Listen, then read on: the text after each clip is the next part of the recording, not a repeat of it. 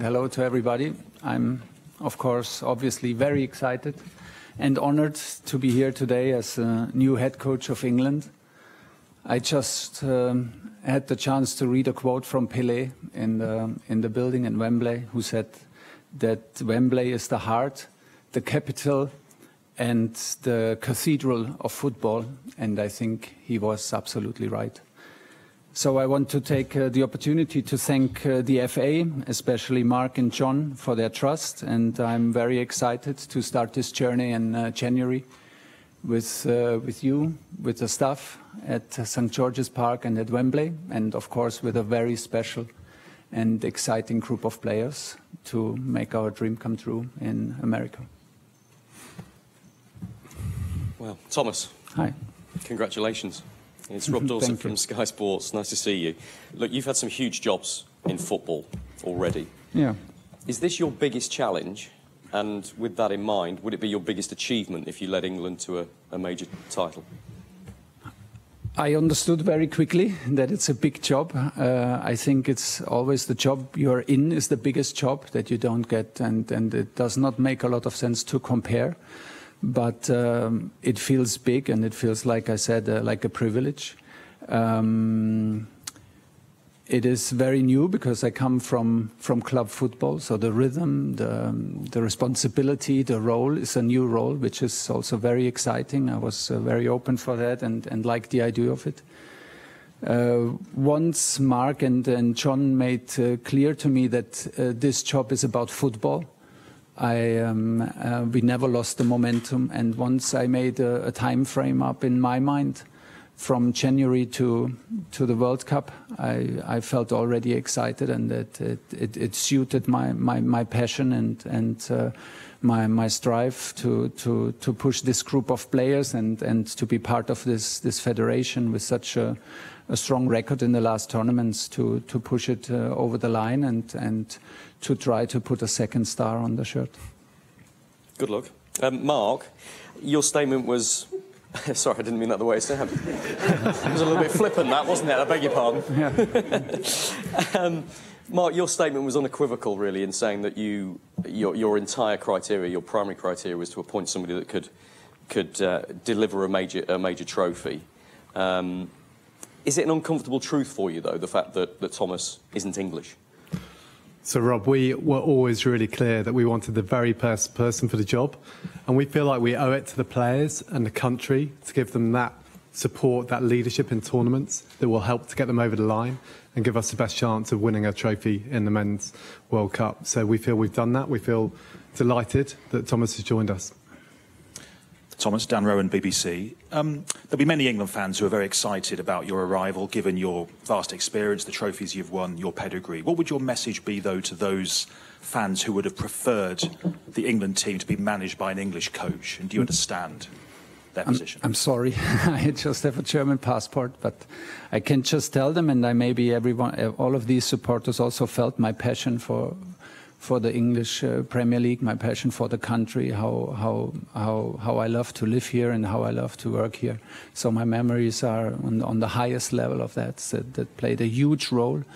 Um, and, and hopefully I can convince them and show them and prove them that I'm, I'm, I'm proud to be the English manager. I'm, I will do everything to show respect to this role and to this country and um, the target for the next 18 months is uh, nothing else than, than um, the, the, biggest one in, in, in, world football, and everyone can be assured of, no, no matter what uh, nationality my passport says. Um, uh, Mark, if I may ask, you say in your statement you interviewed several candidates. Can you shed any light, bit more detail on that? For example, how many were any English? Was Lee Carsley ever a realistic possibility? Can you give us any more details about who else you spoke to? Sure, Dan. As you'd understand, the whole process was confidential, and I think I understand at times that might have been frustrating for, for people, but we had to maintain that confidentiality for us, but also really more importantly for the candidates. So I'll say a few things, but I'll hold it at that. So we interviewed approximately 10 uh, people, um, and we did interview some English candidates within that. As to anything further, you wouldn't expect me to divulge any details, really. Uh, Thomas, Steve Scott from ITV News. Um, Chelsea fans will know you very well. Other Premier League fans will know you well, but obviously England fans are a much bigger group than that. So, for those who don't know you, what sort of person are you? Can you describe your personality? My personality? Your personality. Well, maybe I try to describe my coaching personality, but I, I think it's it's pretty obvious. I'm I'm very emotional, and I, I, I love to be to be. Um, I love what I'm doing. I'm I'm passionate about football, and um, like like we said before, this this task and, and this role like just brought the the young the young me alive, and it brought back the the the, my, my teenage days, like to, to get excited for, for such a for such a big task, for the three, for the three lions, for, for playing matches at Wembley, for, for working with this group of players. So everyone can be assured that we will do it with uh, passion and with emotions, and uh, we will try to install values and um, and principles and, and, and rules as, as quickly as possible to to make the dream to make the dream come true. First, we have to of course, go through the qualification process to the World Cup. But um, it starts for us in, in, in January, and um, we will dive in completely. Gareth Southgate developed a very specific culture within yeah. the England camp. Will you try and maintain that, or do you think you need to create your own, one that's more aligned to you? Create. No, we will build on it. We will build on it. I think Gareth and the FA did a fantastic job in terms of stability and consistency. Look at the last results in the tournament. It's a quarterfinal, semifinal, and, and, and two finals in the last four tournaments. It's, it's outstanding. The under 21s win titles. The, the younger teams are in, in the competition to win titles. The women team uh, wins titles. So we are there. I think the federation is there, and it was a, a, big part of taking that job. I am curious. I want to learn. I will have a different schedule than in club football, but I, it was a big part uh, that that the, the, knowledge and the quality of, of the federation to to have that in, at my side and and uh, to combine it with my ideas, with our ideas. Um, so we will build on on everything that uh, Gareth built and DFA built, and hopefully we can we can add a little bit of extra to to get it over the line. Thomas, welcome and congratulations. Thank you. You took an English team, Chelsea, to a Champions League final against Manchester City, who were overwhelming favourites going into that and won. What does the prospect of 58 years of hurt mean to you? And are you relishing putting a second shirt star on an England shirt? Like I said, I, I, I, I got very, Mark and John um, made very clear that it's about football, and this excited me very quickly because I was not sure before we had this first talk if this is a role for me like in international football because it is the schedule is very different from from club football but then we found uh, so many similarities and so many things that, that, that, that, suited my, my approach and my hunger to, to, to achieve uh, special things. I always wanted to come back uh, to England. That was my big goal. I have the, the, the, best memories of, of the country, of the league, and of the players. The attitude towards the game, the attitude from the supporters who um, uh, that shapes the players and the, the character of the players was uh, one of a kind and um, that's why the, the, offer came in the absolutely right time. We kept the momentum in, and within weeks we found uh, we found a, a, vision to share and, and, a project and an adventure that that I'm, I'm very happy to be to be a, a, big part of. And now I have to live up to it, of course. And and um, I know that there are some trophies missing um, in in the federation, and of course I want to be I, I, I want to help to make it happen. You just said in a social media post, you said that you would like to put another star on our shirt. Yeah. You're already pledging your allegiance, as okay. it were. Uh, a big question for Lee Carsley had to answer. Will you sing the national anthem? The national Does an England man- manager need to? Yeah, I understood from Mark that it's a personal decision. First of all, if you if you sing it, and there were managers who sang it, and, and others who who didn't. Uh, I have not made my decision yet. I want to be very honest with you. It, uh, your anthem is very moving. The English anthem is very moving. I experienced it several times here at Wembley and um, even out with the players in a FA Cup final. So it was very touching. no matter what decision I, I will take, we have a bit time until March. I, I, uh, I will always show my respect to my new role, to the country, and, and of course to a very moving, to a very moving anthem. But um, as this is a new subject, I will take a little bit time for, for this decision. Just to a reminder, state name and organisation. Uh, Rob Harris from Sky News. Uh, welcome back. Congratulations. Thank you. Are you prepared for the pressure and intensity that the England job brings? And was that something that was on your mind in the past? Perhaps managers decided not to take this role because of the spotlight on their private life and things like that? This is always the last thing I think about, and um, because uh, I'm I'm up for the pressure on the sportive side. I'm up for the big challenge. I'm I'm I'm up for the task. I'm up for these uh, 18 months to work with this group and be part of uh, this amazing federation. So these are all the reasons to to jump in the, the pressure on the personal side or the pressure that, that, that comes from, from media and that could arise if things don't go so well is never part of the of the decision making and and I don't feel it so much. I feel it of course then in the process, but it's always um, yeah, it's always a privilege and, and, and my love and my passion for the game is, is always much more than, than the downside of it. And from watching England and, at recent tournaments, how do you think you can make the difference and turn this team into trophy winners? I think first of all they are there. We are there. The players uh, proved, the group of players proved that that they are there. Uh, the consistency of quarterfinals, semifinals, finals is is uh, is impressive. And it shows that uh, we have players who compete in the strongest league in the world, day in, day out. So we have the ingredients. Um, and uh, we, we, we fully trust that this is a that this is the moment to install maybe also from club football um, patterns, behaviors, um, um, principles that can maybe help to to push the to push the team over the line. We will need luck. We will need the momentum. We will be we will need to be lucky to not have uh, injuries and and then so on and, and little decision within the games. That is a given but we feel confident to, to, to add something from, from our experience in club football that can maybe help. But uh, most important is to, to, even if we speak out now very openly what the target is about the second star, we have to prove ourselves um, all the time. You're a national player every single day. I will be a national coach every single day and not only when a camp is.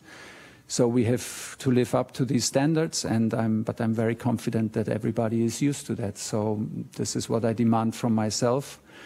And uh, then we need to show it in qualification and, and build an atmosphere with the supporters and the country that extra, extra special things can happen. Rob Brimby, ARD Television, German TVs London Bureau. Ähm, wow. Es gibt Leute, eine Frage auf Deutsch, wenn es möglich ist. Es gibt okay. Leute, die sagen, dass der Nationaltrainer muss aus England kommen. Äh, wie können sich solche Vorurteile über, überwinden? I think they have a point. Oh, you want to translate? Uh, shall I translate? English. English. Shall I translate? Yeah, yeah. English questions from now on, but if you answer. yeah. I, I think every, everyone has its opinion, and I can understand even an, an, opinion when someone says, like, I, I would fancy an English coach more for, for, for the English team. I can understand it, but um, I think uh, we deserve uh, a fair chance. We deserve the credit for, for having a good record in the country, for never being shy of uh, how much we love to live in the country and how much we enjoy to uh, work with the players in Premier League. So um, maybe this counts a little bit for for for a, a, a British uh, edge on, on, on my German on my German uh, passport, and so we will try to convince them by results and by the way we play in English then, uh, Gareth Southgate was described as, by many people as uh, sympathetic, human, and emotionally intelligent. How would you describe yourself? I think we're all human. I mean, we're all human, and uh, and uh, this is a, a, big part of the job. I think, like I said, I, I'm I'm uh, I am uh, impressed of, of the record that, that uh, Gareth provided with this team, and uh, I am very well aware of uh, what he built together with Mark and John uh, in the federation as a foundation. And now it's on us to, to, to leave our own marks, to leave our own footprints, and uh, yeah, we will try to, to take the next step from there. Hi, Thomas. Um, congratulations. Um, it's been widely reported that you've signed an 18 month contract. Is that true, firstly? And secondly, if so, how do you feel about potentially only having one shot at a tournament? Well, let's see. Let's see. It's 18 months, and then we agreed to sit together, and then we, we, we see. I mean, um, I have good uh, experience with 18 months personally. Unfortunately, also sometimes I'm working on my long-term game, but uh, um, you, you, never know. Um, the point was in this particular case that it was important uh, for me to to to have a frame around it because it's a little bit a step into the unknown for me. I am used to work on a daily basis with the staff. I'm used to work with a daily basis on, on, on the team, to have the influence on, on 60, 80 people in a training camp on a, every single day, to be three days a, a week away on, in hotel rooms and, and, and prepare matches. And, and this will be very different. So, like the, the, the last piece of bit for me to, um, to understand that this is something that, that uh, that can really excite me to, to the fullest and, and um, was the time frame of 18 months to not also and, and to also to demand from myself to not lose the focus for all of us. So I think it's a, it's a, it's a good time frame because it will help us to focus. We are focused on the qualification and on the World Cup. It will help us in the nomination process. It will help us in the communication towards the players within the staff. So I think this is now very streamlined and very easy to explain. We are here to, to, to work on the best possible outcome for, for the World Cup 26. And, and then let's see. Um, whatever comes, comes. You obviously came in at Chelsea and had an immediate impact and won the Champions League in a matter of months. Do, do you think that experience is translatable to England and the time frame you've got now? I um, I think so, yes, but I'm not fully sure because I have to feel into it. The the the the, um, the schedule will be different. The the workload will be different. Um, but uh, I wanted this. Uh, I wanted exactly this. Once uh, Mark and John presented me the opportunity and and made it very clear that it's about me and that they trust me with this uh, uh, process in in in in pushing this team. Um, I, I, was very happy now to have the chance also to um, to, to learn to learn on this process to to to have the strong foundation and, and stability and quality of the federation to get better, to get smarter, and um, to um, yeah to to, to get better while I'm while I'm on this job. So that this is, was a big part of it. And just finally, Sorry, James, it's two questions. Come across to Henry Winter here, please. We've got time for a few more in this section, so if we can limit to one question each, that'd be great. Thank you. Hi, Thomas. Henry Hi. Winter, World Soccer. First, congratulations. And secondly, you know Harry Kane well. Yeah. Did you speak to him before taking the job? And will he remain your captain? I did speak to no one we kept the process very confidential between uh, Mark, John, and uh, and uh, me. I did not speak to um, to Harry. I didn't speak to Gareth. I also normally I never do this to get my own feeling for it and, and get my own point of view and let it sink in and reflect on it. So no, haven't done it yet. Um, you know, it's it's too early to answer these kind of questions. You know how highly I think and feel for, for, for Harry and how of, how how much I fought to bring him to Bayern Munich, and uh, so he is um, he is uh, already on his way to be a legend in, in English football.